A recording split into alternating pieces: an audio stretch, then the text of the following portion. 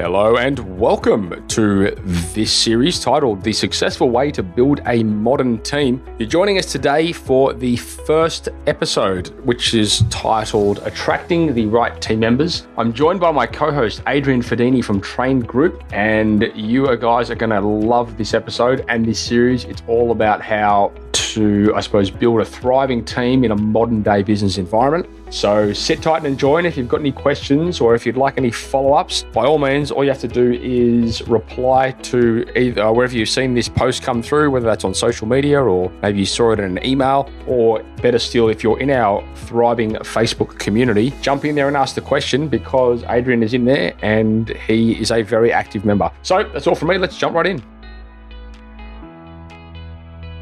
Hey, site shedders, let me ask you something.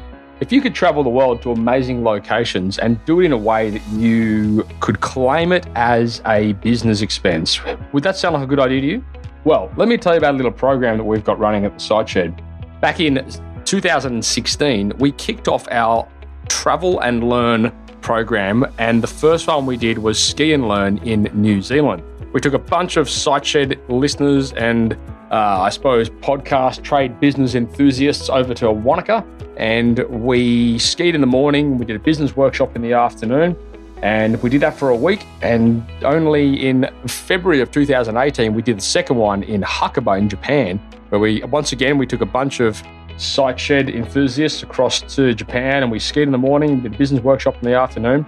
And guys, the reason we put this program together is because, like, we know it, it's hard as business owners, as trade business owners, when you're tied to location, it's very hard to get away to amazing, you know, destinations around the world. And more to the point, when you do want to travel, you often do it in a way that you, you know, you want to make sure that it's justifiable from a business point of view. So we thought, why not combine the two? Why not make an amazing business experience and an amazing holiday tied into one?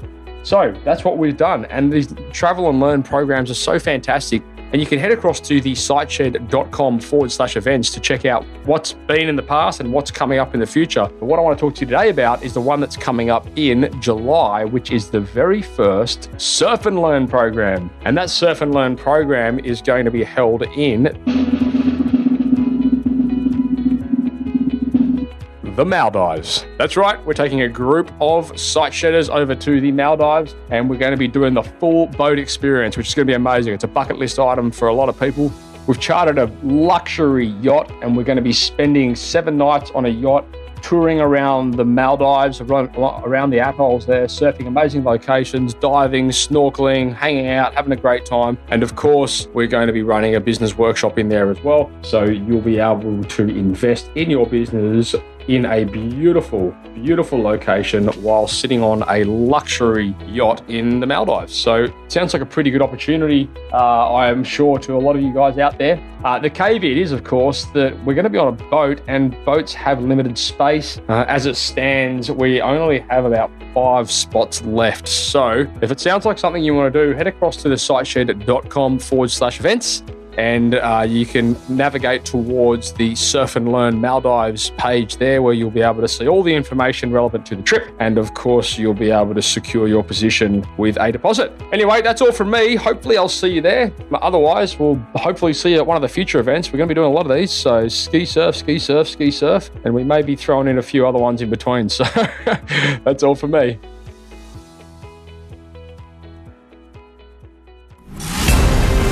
Giving tradies and contractors around the globe the tools to run a modern business. You're listening to Toolbox Talks from the Site Shed. Now, here's your host, Matt Jones.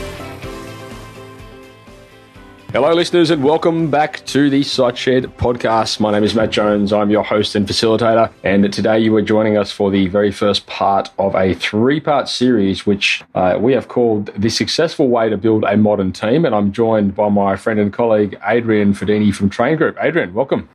Thank you very much for having me, Matt. It's been a while, but it's great to be back. Yeah, welcome back, I should say. Absolutely. So, um, Adrian for, the, for all you regular listeners out there, um, you would have been familiar with the series that Adrian and I, well, that we recorded a long time ago. I can't remember how how long ago that was, but um, I think it have to be close to almost two years now.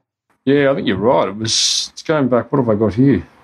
Yeah, it was 2007. It was July 2017. There you go. So that series was Selling with Confidence, it was called. And we went through knowing your hourly rate, finding the right customers, and selling to the right customers. We also did it from A to B with Adrian, where we talked a little bit about his story. But in the last uh, 12 months or so, Adrian's, uh, your business has taken a bit of a bit of a segue. Uh, not massive, not a massive step sideways, I suppose, but sideways nonetheless. So, sort of tell us a little bit about where you were and where you're at these days, mate.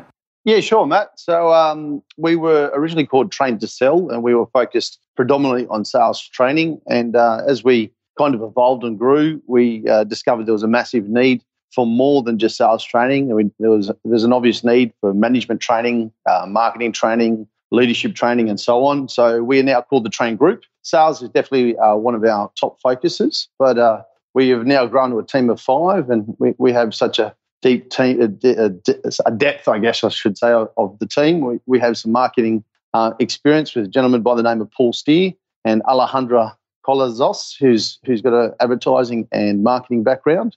And um, yeah, we've we've kind of basically focused now on business training is our probably our number one product line or service, and then two would be coaching, and then the third third I guess product or service we deliver is business process. So the actual creation of business process. Now, I won't let the cat out of the bag too much, but um, uh, the audience can certainly expect to hear a lot more uh, from a little collective group that we're putting together. You are and a few others. So um, I won't I won't go too much into that at this point, but that is going to be a massive industry shake-up. So you can all look forward to that one for sure unbelievably exciting. I've actually got goosebumps just the fact you're talking about that. so, um, Adrian, obviously you're a, you're a very active member within our Facebook community. And for listeners out there that are not part of that community, get in it. It's free. It won't cost you anything.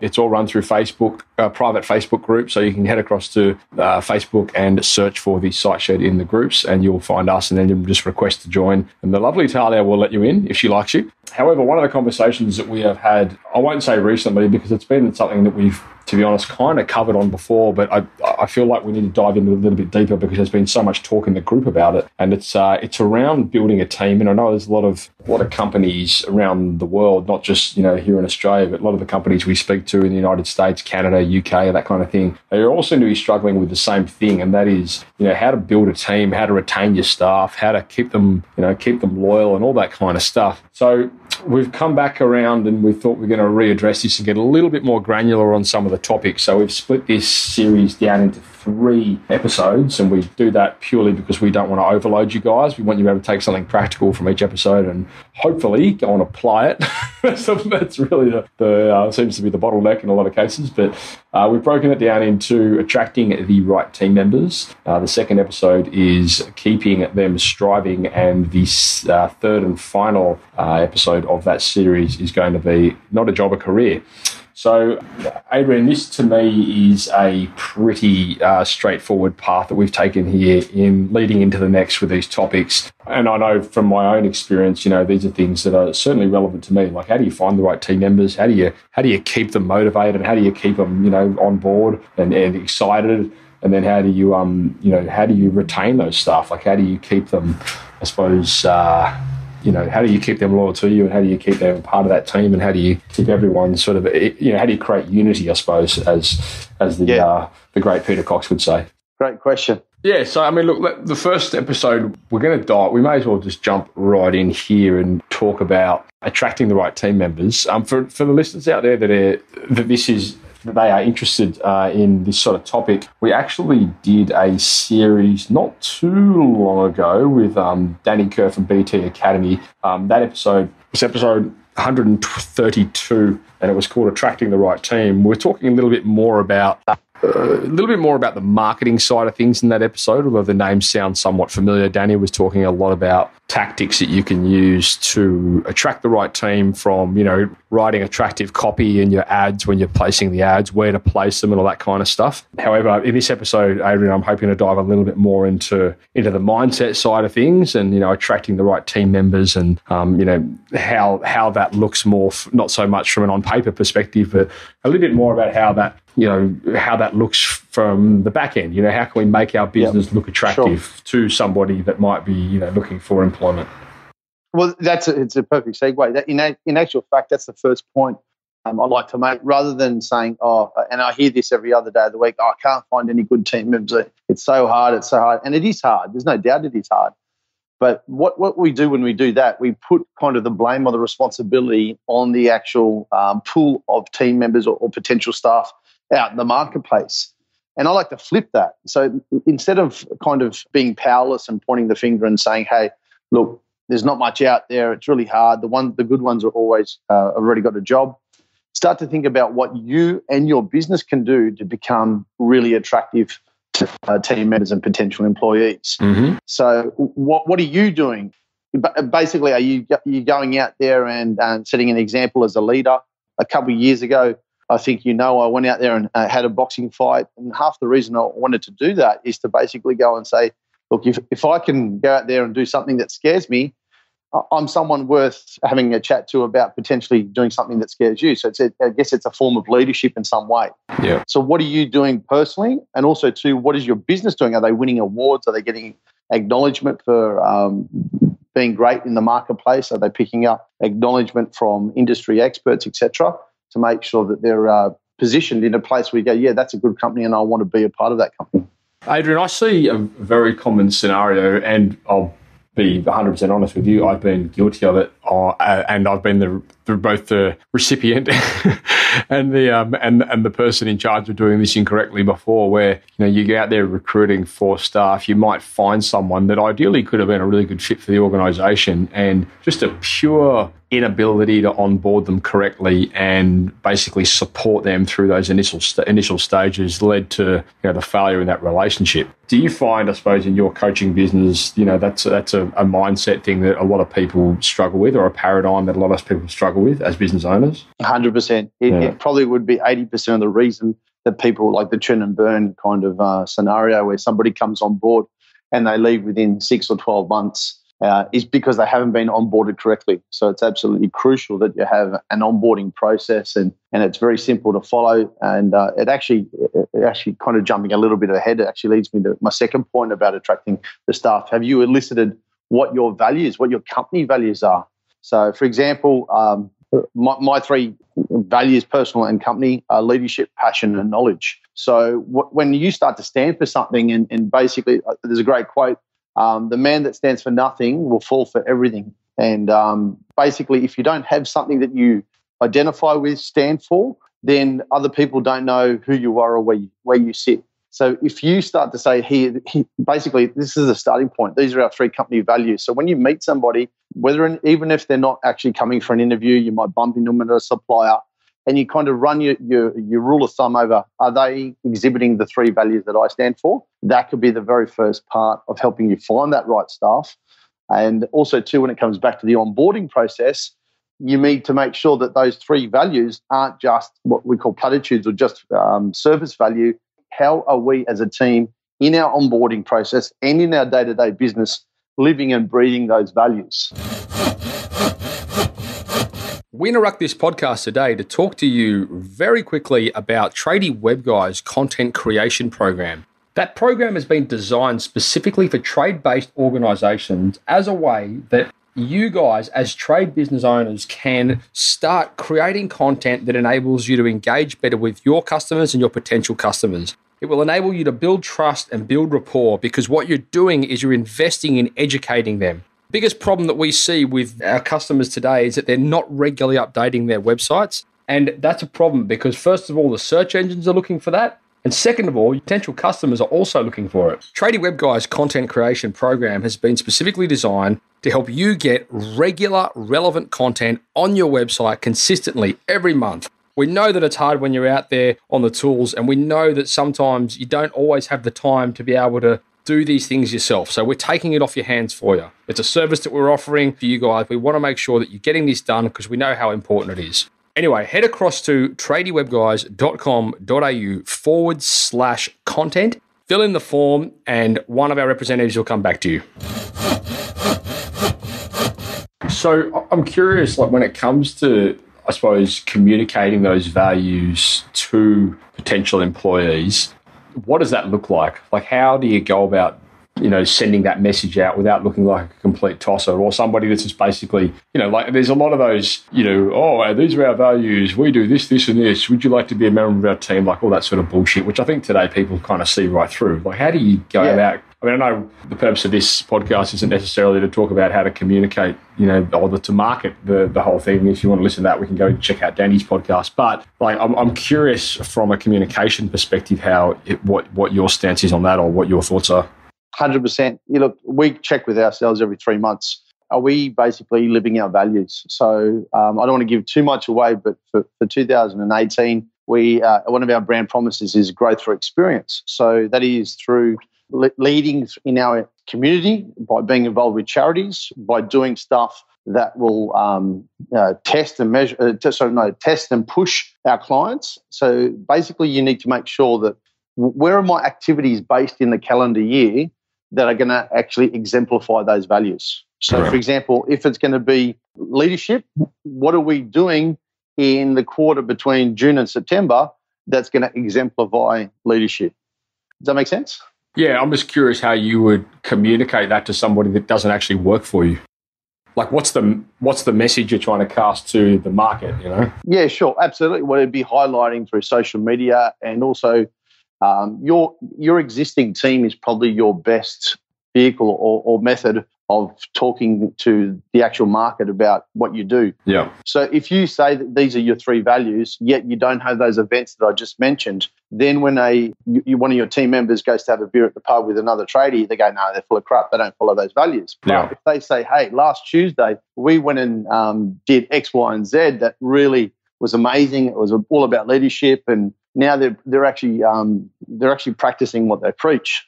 So social media would be one way to get the message out um, actually doing it. So your team go and share it with the market. And um, yeah, I can't think of a third off the top of my head, but yeah, those two would be very those, those two would be very powerful. So I, I, I want to just take a bit of a, the emphasis off the team member side of the the name of this podcast and put it onto the word right. So how do you? What's the process there in ascertaining if a person is the right person for the right role in your organization? Yeah, two words cultural fit. Yeah. And again, it comes back to values. Uh, technical skills are important, but they're not by any means the be all and end all. So when you've got, uh, uh, you've probably heard this a million times, when you've got the right attitude, the skills are something that you can train at a later date. Mm-hmm. So if someone's trying, uh, even if they're not 100% successful, as long as they're trying and putting in an effort and actually making the, all the right movements and gestures to go and be part of that or to, to, to try basically then that that signals to me that they're the right people to get on the team. I mean, look, there must be. I mean, that that all sounds good, and it's sort of a little bit unicorns and rainbowy. To, I mean, really, I mean, if, if you're looking for a, you know, for a plumber to fill a position like as a technician, they've got to have some level of qualification. Well, absolutely. There's no doubt they're going to be fully licensed, and they've got to have the the. If look, it's it's funny. I, people, are, I've had um, ninety percent of the businesses we work with are maintenance businesses, and I've had people say, "No, no, I can't employ anyone for the construction um, space because they don't understand maintenance." And then some of the, the some of the most amazing team members that have actually joined some of my clients' teams have come from construction, and the reason they've been successful is because of the right attitude. They, they of course, they didn't know how to find leaks as as well as they could in a in a plumbing sense. But yeah, um, yeah, because they they kept trying. What's your take then, I suppose, on? I mean, obviously, there's going to be okay, fine. People have a good attitude. They have a good attitude. They don't have a good attitude. It, it is what it is. However, there's also a lot of different types of people out there that have different types of personalities, and different types of personalities will suit different types of roles within your organisation in almost every instance. Like you can pretty much guarantee 100% that your accountant is going to have a significantly different yeah personality type to somebody that's you know uh, a sales technician within your business. So my question i suppose is you know how do you how do you go about attracting the right team members for the right roles within your business? Yeah great. Okay so uh, you know and i know you're a fan of DISC as well. One of the actual uh, technical or the physical things we do is carry out a behavior assessment. The term personality uh, assessment is not quite right. It's all about how they behave. Mm-hmm. So to kind of follow on from that example you just made about the accountant or someone that would be in control of finance or something that's meticulous and high attention to detail, they're going to have a different behavioral style to somebody that's going to be in sales that's basically a bit more outgoing, a bit more gregarious, and a bit happy to, to go and talk to a room full of strangers. So they they could be potentially a conflict and not be the inverted commas right mix unless they have an awareness of how each other behave. Mm-hmm. So it's really crucial, apart from looking for attitude, that you do understand, have a really gr- good grasp on how different people in different roles will behave and making sure that they know how to communicate with each other. So is it a matter of then when you're at the, say, at, at the stage of, okay, we need to find somebody to fill this role we now want to figure out what type of person we want in this position and we want to figure out what their behaviors are like, what their habits are like, what their personalities are like, how they communicate. Like we want to establish all that stuff before we even look for the person. Yeah, absolutely. Benchmarking. Yeah, exactly right. Um, benchmarking is a very powerful idea. You can either do it a number of ways you can do it. You can do it off existing team members that are doing the role quite well. Mm-hmm. Uh, and then also, too, there's some, some sometimes there's industry benchmarks that you can go and uh, reference. But the, the key thing is you've got to know what you're looking for. And an, another phrase, if you don't know what you're looking for, you kind of take anything. But if you, you're clear on right. what their behavioral style is going to be, what skill set they're going to need, then it makes it a lot easier. You start to you set that filter so you know who you, who you need to be talking to, so you can save a lot of time. So it kind of leads us, I suppose, into you know the next point, which is okay. Well, where do you where do you go looking for these people, and where do you how do you find like where do you go fishing for the people that are the right people for that particular role? Because I'm guessing different different personality types or behavioural types or whatever you want to call it, they're gonna you know they're gonna have different sort of scenario places where you can find them, right? Yeah, great question. So it comes again back to culture, your culture as a business. So if let's say you've got a very uh, active, a lot of tradies love going to the gym, they love sports and so on. How can you start to prospect for members around sporty clubs, the gym that you go to? Maybe, let's say you're, you're um, uh, I, I, was talking to someone last week, they loved car racing. How, how do you go and find people that are car racing might be more for business owners than it may be for team members, but how do you go and start to find people that are sharing the same um, goals and values yep. and trying to grow? So definitely start putting up job ads around your gym, around your sporting club. Talk to your mates. Also, too, talk to the people inside your team. They're the ones that are going to have to work with that team member more than anybody else. So yeah, it, it, there's a, there's a whole bunch of different ways that you can go and fish with the fish are, so to say. Yeah, okay. Because I mean, I know you know in the past we've had people on the show that have a really really good framework in place for using your team as a recruiting engine to find staff because you know at the end of the day you would hope and, and in most cases it's it's pretty accurate you know the people that that hang out with people that work for you are going to may or may not may in many cases may be a very good fit for your organization. So you may as well find people that they can i suppose refer to you because then at least it makes them somewhat accountable as well. Yeah mate. What i heard was that basically you've had people in the past that had a very good framework around using the current team members to go yeah they've got to work together. Is that? Yeah, yeah, yeah, yeah. Couldn't agree more. At the end of the day, they're going to be working with the team members more than they will with um, you as the business owner. Yeah. So it's it's crucial that they they there's harmony. I mean, one one person that doesn't share the same values or, or hasn't got the same cultural fit as the rest of the team can, can bring a team of 20 people undone in a heartbeat. Yeah, exactly. yeah, it's absolutely crucial. Okay, cool. Well, I suppose, okay, so in just before we move on to the next episode, uh, Adrian, is there anything that you would like to leave with the listeners out there? Any sort of framework or any starting point um, in relation to attracting the right team members? Um, I suppose something preferably that they can go and apply. yeah, absolutely. It's very simple. Uh, it all starts with us uh, as the business owner. So, what can you do? How can I set an example? How can I uh, be attractive to potential team members. So rather than uh, laying the, the responsibility or the blame at the market, what can I do? Can, sh- should I go and uh, start to put my company up for awards so then that gets me some PR or some attention? What can I do as an individual to go and lead by example? So then people go, wow, that's a great leader. I want to follow him. I want to go and yeah. So I can off what, what they're doing to me. Yeah, love it. All right, brilliant. Well, mate, thanks for joining us um, back on the show. Thanks for your input into uh, the first part of the the successful way to build a modern team series. Um, that was part one, listeners. That was attracting the right team members. And uh, we will be coming back with a following episode, uh, probably next week, which will be keeping them from uh, keeping them striving, keeping your team striving. So, um, Adrian, thank you very much for your time. Uh, listeners, if you want to get hold of Adrian, there will be links within the show notes where you can get him. And um, there's also a little call to action there, isn't it, Adrian? You've got some uh, little cool video, uh, little video modules that you've been sending out on a, on a weekly basis to anyone that need anyone that would like them. Yeah, but that's right. Um, one one of the other ways, and we're going to get into this, I think, next week, um, is about training the team. Uh, the way that we've decided to start this off, normally for our clients, special freebie for you guys, is basically 90 second video coming to your phone every single week on a tip on perhaps sales or leadership or management uh, basically, a little snapshot straight to your phone so you can digest it in, two, in, in less than two minutes and move on and do what you need to do.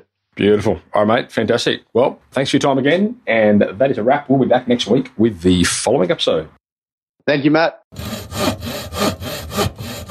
Thank you for listening to another episode of Toolbox Talks. If you're liking what you hear, then you can head across to the siteshed.com where you can join our community by signing up to our Toolbox Talks. Uh, you'll get sent a weekly notification, which is basically a highlight of everything that we've spoken about during that week, along with any other industry news that may be relevant or specific to the trades. If you're enjoying the show, you can head across to iTunes, Stitcher, or SoundCloud where you can leave us a review. Uh, that would be fantastic, and all the reviews get read out in the show. Uh, likewise, if you have any friends or colleagues that you think would benefit from the show and the, the episodes that we create, then please go ahead and share it with them.